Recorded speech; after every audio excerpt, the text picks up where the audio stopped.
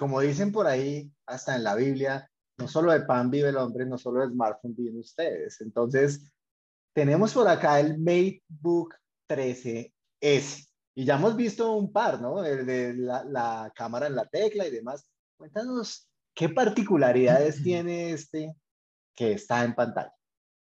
Justamente, en el caso de este computador, eh, es un poco distinto del resto de toda la gama de computadores de Huawei, porque, como bien mencionas, la gran mayoría de nuestros computadores tienen la cámara oculta debajo de la tecla en la barra de funciones. Esta no.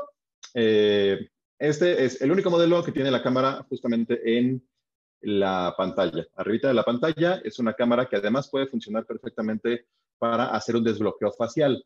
Eh, la ofrecemos en este modelo porque todavía muchos usuarios que también quieren la cámara en esa posición y que quieren acceder a esta función de desbloqueo facial que desde luego no la ofrecemos nosotros particularmente, la ofrece Microsoft a través de Windows Hello, eh, pero también hay un mercado que quiere esa, o sea, la cámara en esa ubicación. Entonces, en, esta, en este caso, la Mate 3DS es súper compacta, es súper ligera, pesa 1.37 kilos, tiene esta pantalla de 13 pulgadas que tiene una resolución 2.5K, es una pantalla táctil, como puede verse en la imagen, tiene un lector de huella dactilar, ese circulito que se ve arriba de, de la tecla en la esquina superior derecha, es un lector de huella dactilar, eh, de tal manera que también se puede desbloquear de una forma súper segura con, con solo la huella dactilar del propietario, tiene un sonido de cuatro altavoces que es Huawei Sound, tiene la posibilidad de dar hasta 12 horas y media de autonomía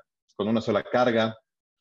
Utilizamos nuestros cargadores además. ¿Oí bien? ¿Dijiste 12 horas y media, Carlos? No. 12 horas y media en una sola carga, porque ¿de qué sirve tener una computadora que luce espectacular, que lo hace muy bien, si a las dos horas te vas a quedar sin Bueno, voy a tomarme una atribución que Carlos no me ha dado, pero voy a hablar en mexicañol. O sea, no mames, 12 horas y media es mucho.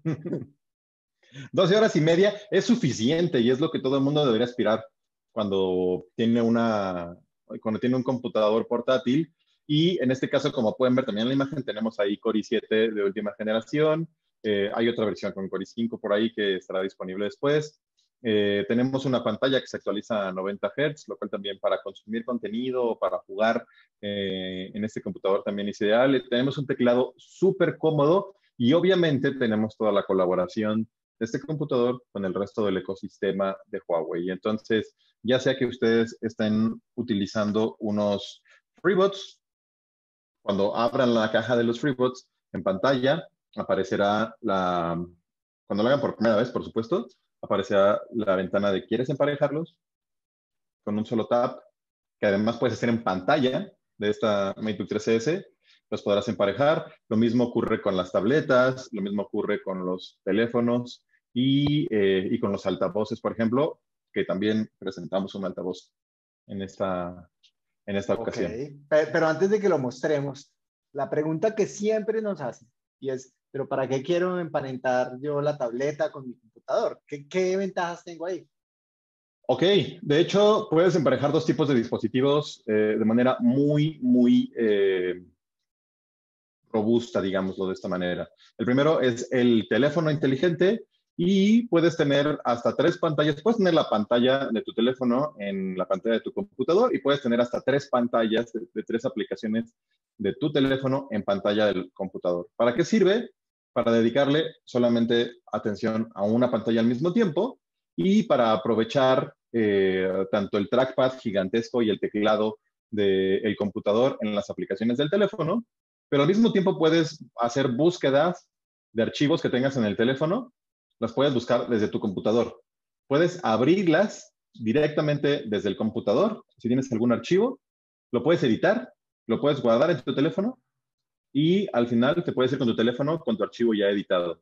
La verdad es que para todos aquellos que hayan trabajado desde casa, que hayan tenido este privilegio durante la cuarentena, sabrán que si bien es cierto que nuestros computadores son como los principales repositorios de todo lo que tiene que ver con la vida laboral, mucha de ella también vive en nuestros teléfonos. Entonces, poder compartir archivos entre ambas partes es súper útil siempre. En el caso de las tabletas, pues conectar una MatePad eh, en tres escenarios distintos. El primero es el modo espejo, entonces lo mismo que tienes en la pantalla de tu MateBook 3S lo vas a tener en la pantalla de tu MatePad. Entonces, la puedes utilizar para trazar, para dibujar, si eres eh, diseñador. Eh, en el caso de la MateBook 3S tenemos una gran pantalla que tiene una gran precisión de color también.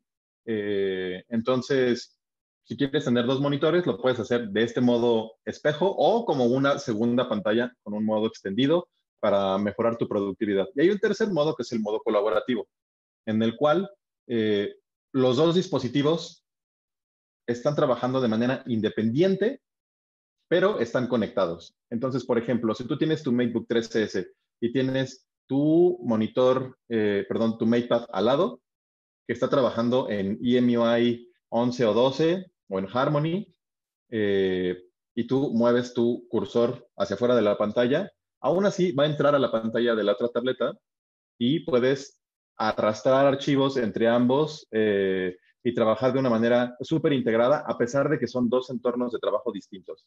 Eso es algo que no se había logrado antes, hacer que dos sistemas operativos se hablaran. En este caso estaríamos hablando de Microsoft Windows y de EMUI 11, 12 o de Harmony OS en el caso de nuestras tabletas.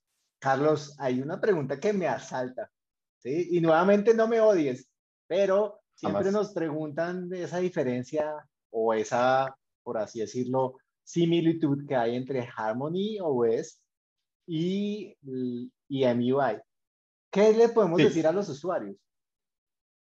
Totalmente. Al final, Harmony OS, eh, o bueno, un pasito para atrás. EMUI, que es Emotion User Interface, como nosotros le denominamos, era una capa de optimización de Android que sacaba el mayor provecho de un sistema operativo que si bien era súper robusto y era muy bueno, eh, aún era incapaz de gestionar de manera muy eficiente los recursos en dispositivos que tenían cámaras múltiples o que tenían supercharge o que tenían una unidad de procesamiento de redes neurales, como es el caso de nuestros teléfonos y nuestras tabletas. Entonces, eh, así desarrollamos EMUI, así fue creciendo y después se convirtió en un sistema operativo por sí solo al llegar a EMUI 11. En el caso de Harmony, ese ya es eh, otro tipo de código, es un sistema operativo en toda regla, que si bien es cierto que todavía tiene algunas compatibilidades con algunas aplicaciones de Android, porque tienen también elementos de Linux en la parte trasera, eh, en el backend, al final tienen también una gran cantidad de diferencias, eh, tanto en la filosofía del desarrollo del sistema operativo como en la aplicación.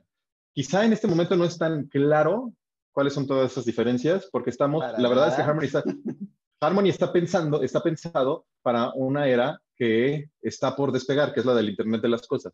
Entonces, cuando tú puedas tener dispositivos que estén corriendo con Harmony y conectados a tu red y sean electrodomésticos y sea un horno de microondas o un horno convencional que tiene una memoria RAM de 128 kilobytes, va a quedar más claro cuáles son las verdaderas diferencias entre Harmony OS y Android o EMUI en su caso, ¿no? Por el momento, EMUI 12, que es el sistema operativo con el que corre o que corre en este momento Nova 9, es un sistema de transición justamente entre EMUI y Harmony, justamente para las aplicaciones de este lado del mundo y para la experiencia de los usuarios de este lado del mundo. Pero sí, eventualmente habrá un despliegue global de Harmony, como se ha informado ya desde HQ. La fecha exacta aún no la tenemos clara, pero es algo que llegará. Y MUI 12 en este momento es justamente eso, como un, un paso o una transición entre la era de EMUI y la era de Harmony.